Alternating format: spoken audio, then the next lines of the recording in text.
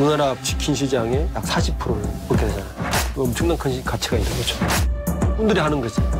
정말 손님이 영화 같아요. 음, 참 머리 좋아. EHC가 사실은 저희 자회사였잖아요. 형제 같은 회사고 박현종 회장이 회사를 인수하며 오너로 등극했습니다. 자기가 매각한 기업의 대표이사로 간다? 의심이 될 수밖에 없는 거죠. 좀 가맹점들 더 상생할 수 있는 더 저희들이 노력하도록 하겠습니다. 바로 돌아가가지고 고발, 고소를 남발을 했습니다. 아무도 보호해줄 수가 없는 거예요, 점주들을.